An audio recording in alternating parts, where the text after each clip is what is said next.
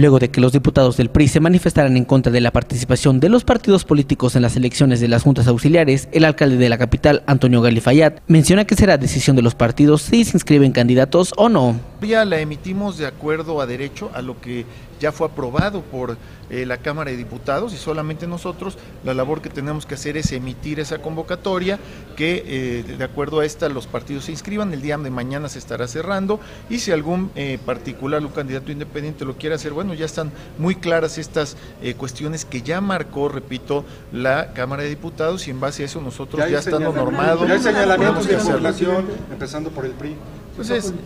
ya será una cuestión que tendrán que, realizar eh, ellos de manera, eh, de manera lateral, unilateral, conforme a derecho con sus partidos.